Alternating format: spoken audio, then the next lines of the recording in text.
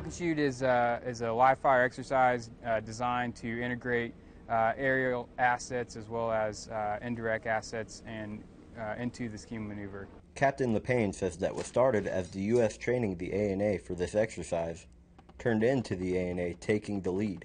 We did a, uh, crawl, walk, run phase, each one consisting of more and more ANA-led uh, events. He says training exercises like this are important because they show how capable the ANA is at keeping their country safe. They probably saw in themselves that they are capable as well. Something like this is important because it's the future of Afghanistan as a whole. The future of Afghanistan resides on its ability to provide security for itself. Captain LePayne says that this is the first time the ANA has conducted a combined arms exercise of this size.